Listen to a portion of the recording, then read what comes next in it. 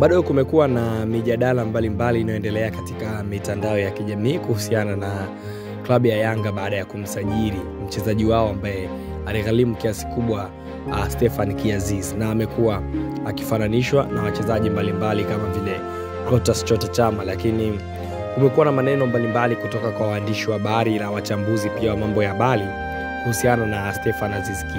Sasa mi ni kusomea maoni ya Edo Kumwembe uh, mtangazaji wa Wasafi FM pamoja na Wasafi TV.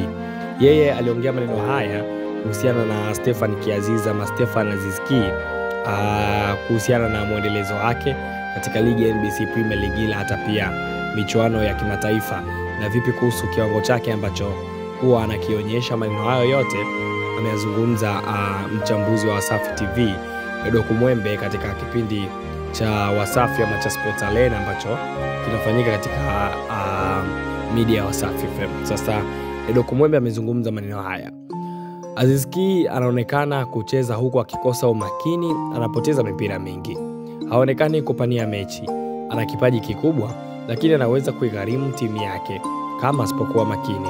Siku ya juzi ilikuwa miongoni mwa siku ambazo hakuonekana kuwa makini kabisa. Hapo walikuwa wanaonekana siku ya hapo, anazungumzia siku ya mechi ya Rivers United dhidi ya klabu ya Dar es Salaam Young Africans katika uwanja wa Benjamin Mkapa ambapo Yanga alipata sare ya bao zilo kwa zilo, hivyo kufuzu kuelekea katika hatua ya nusu fainali.